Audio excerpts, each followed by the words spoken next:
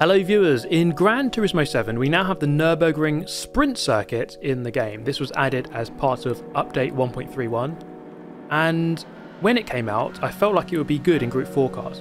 And that just happens to be this week's Daily Race B.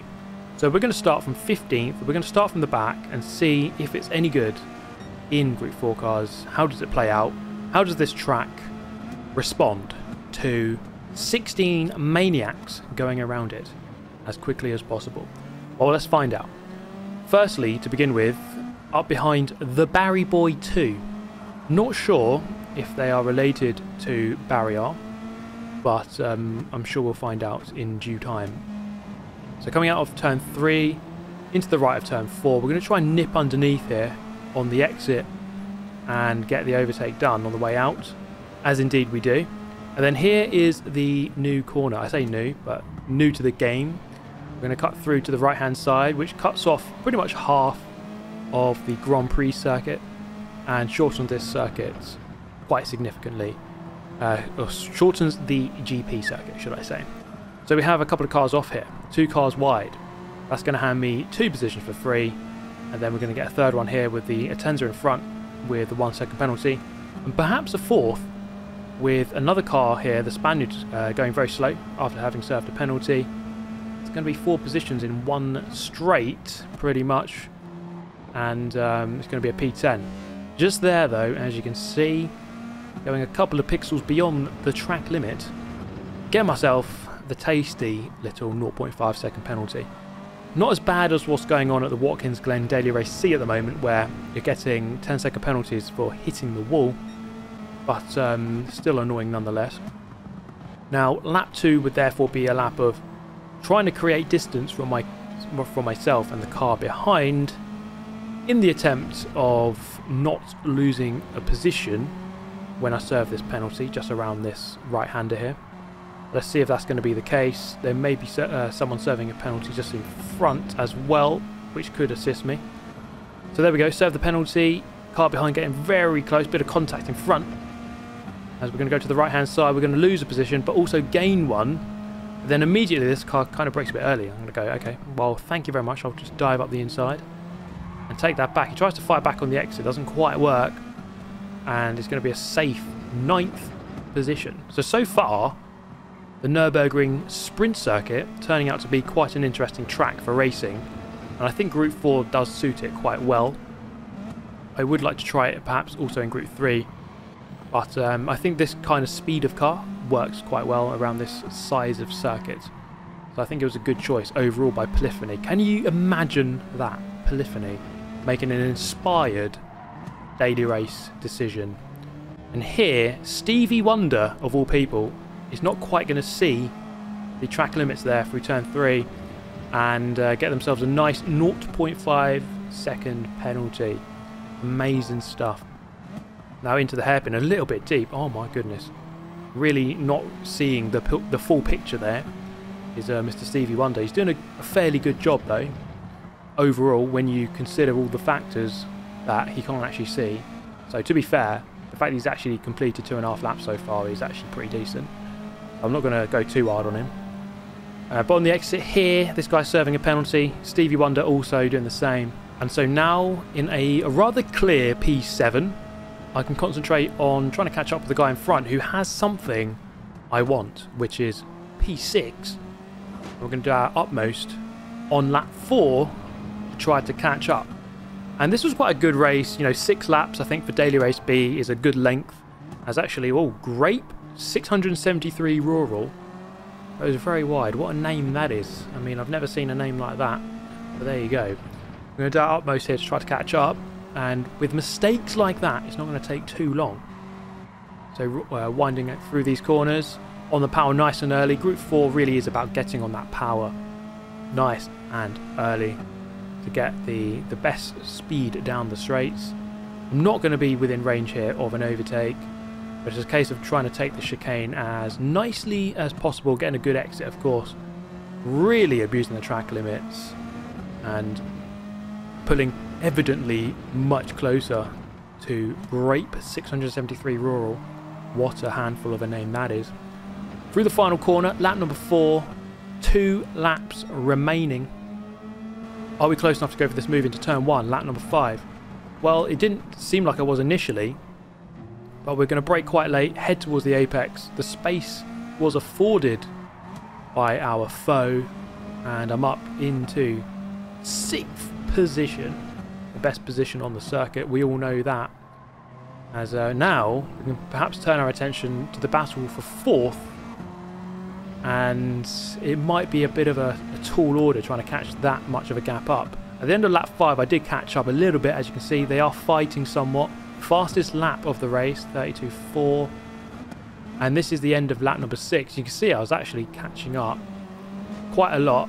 In fact P3 wasn't very far away and through the final corner I'm not quite going to be close enough but what I would say is that it was a very fun race, a very fun and engaging race good battling, and I think Nürburgring Sprint Circuit, it does actually work really well in these cars. I think it was actually pretty decent. And there it is, P6 for F4H Super GT, faster lap, up nine positions. Lovely stuff. But it wasn't good enough. We needed a top five. We needed a win. We needed something better than the infamous P6. So I set a qualifying time here, 32.5.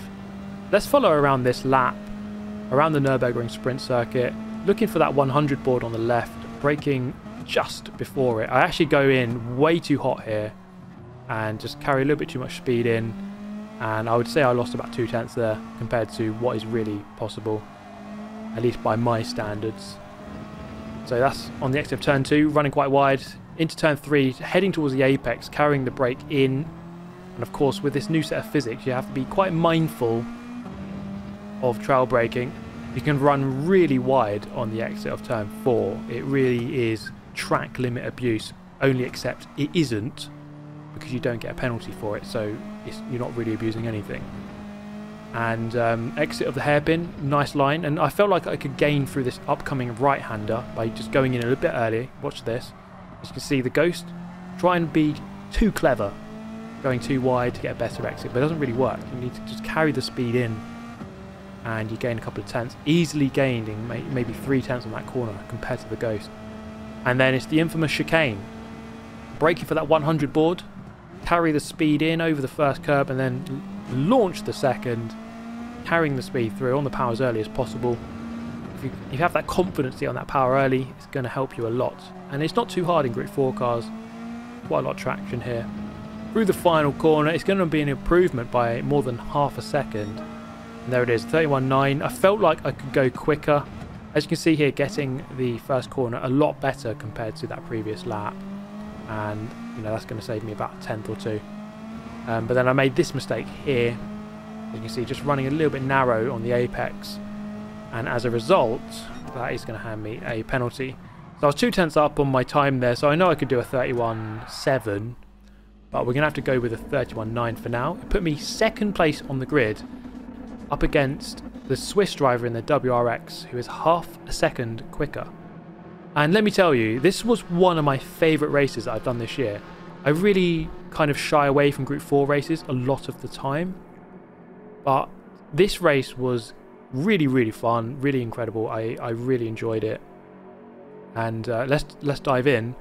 Starting P2, I was quite worried, I must say, about the Swiss driver on pole position when someone's got a qualifying time half a second quicker, you think, okay, this guy is very quick. It's going to be quite a challenge to try to beat them. So my initial thought was I really need to, need to attack this guy early, try and get in front, and then I can control the race from in front. So let's see if we can do that.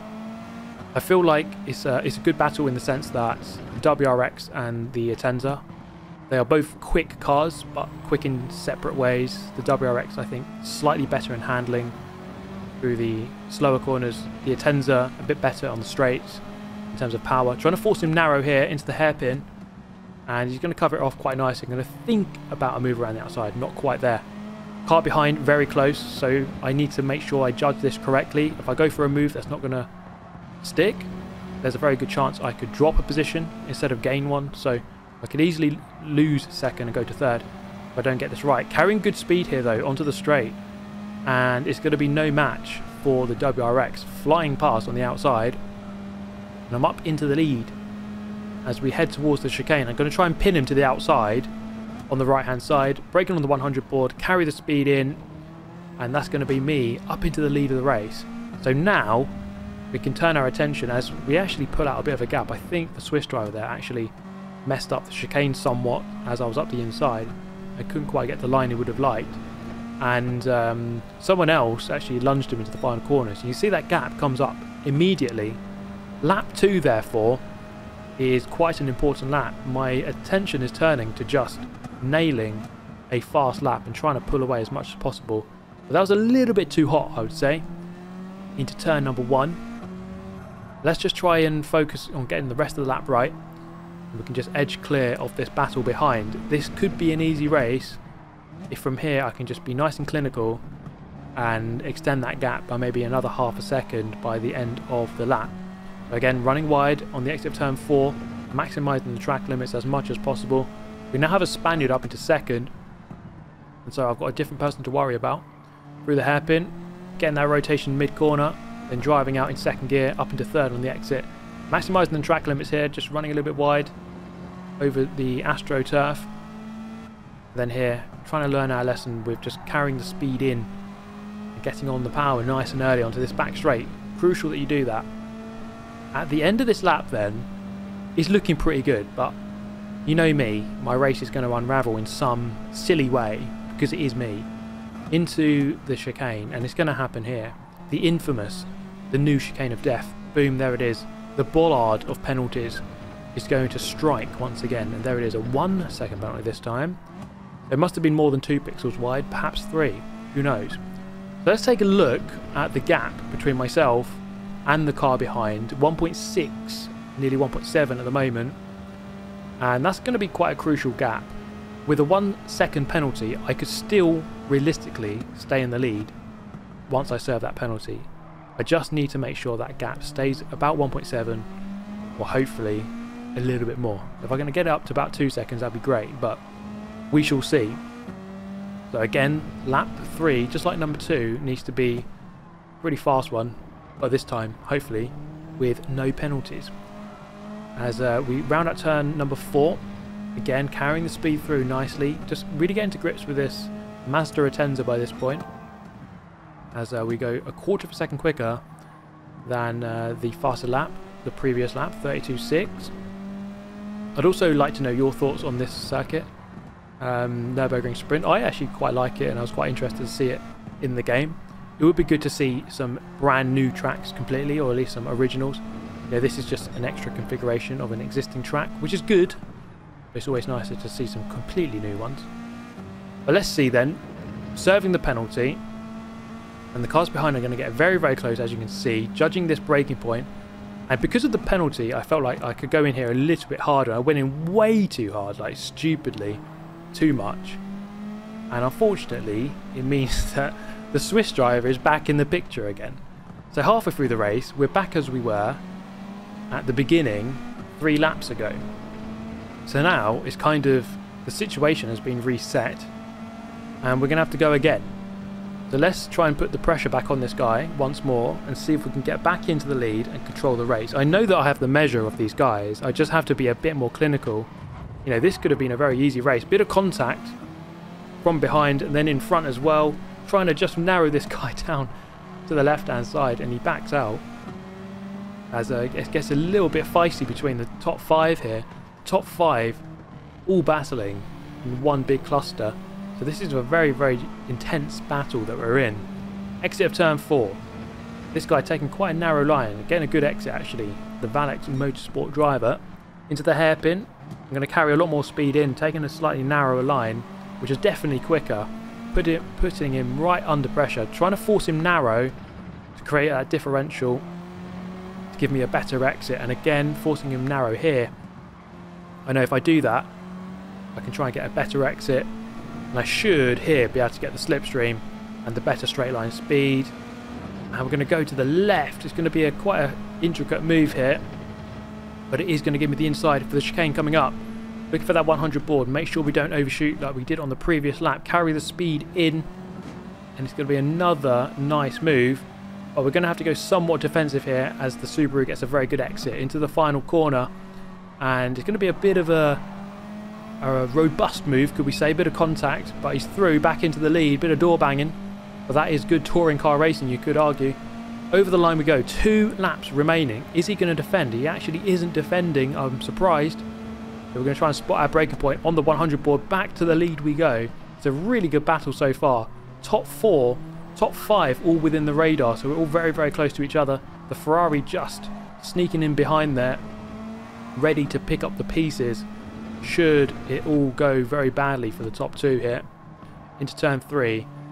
And uh, this is my second opportunity to try to pull away. I've been um, fairly lucky that I've been gifted this other chance a second life if you like in this race. And so I need to really capitalize otherwise I might not uh, might not get many more opportunities. You know, this race could have very much been over if I'd just been a little bit more clinical and not got that penalty on lap number two. And it just shows you one little mistake can make your life a lot more difficult.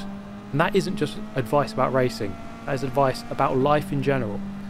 So as we come through towards the chicane, is he within range? I do not think so. Three tenths behind, it would be dive bomb of the century from that far back and he's not going to quite go for it. Going to take a little bit more of a, a liberal line there through the chicane. Covering once again. I'm not going to make the same mistake twice. I'm not going to let him up the inside and give him zero chance of an overtake. He's very, very close though. As we go on to the final lap, it's a battle between the two of us down the main straight. Is he going to go for this move? I'm going to move defensive. I can't take that chance. I have to give him the outside. Onto the brakes we go. He's on the left-hand side. The long way round is not going to be possible here. I'm going to make sure of it as he isn't quite alongside enough to get that move done. So under a lot of pressure here with one lap left to go to try to bring home this win and it would be a very hard earned victory at that. So through turn three, can we try to pull a gap before we get to this hairpin coming up? Making sure as well, of course, that we don't get another penalty. That would be fatal this late in the race there we go. We are getting good sector times through sector one. We just need to complete the lap and make sure that we bring it home this time without getting such a dumb penalty. So through the left of turn six, I believe. Into the right of seven. Onto the back straight. Crucial corner this one. Down, down the straight we go. It looks like I've pulled enough of a gap here. And he is not going to be close enough. Seven tenths of a second. So quite a good final lap I can kind of rest easy. I still need to take the chicane quite quickly. Otherwise he's going to have a chance into the final corner. And as we go through, it's done nice and safe. Towards the final corner we go. And thankfully, after all of that, it's going to be a race victory and one that I really enjoyed. One that was really fun. And, you know, fair play to Polyphony bringing out this combination, Group 4 cars around here. Um, really, really enjoyable. And um, I hope you enjoyed the video. Thank you so much for watching as ever. Have an amazing day, and I shall catch you next time. Goodbye.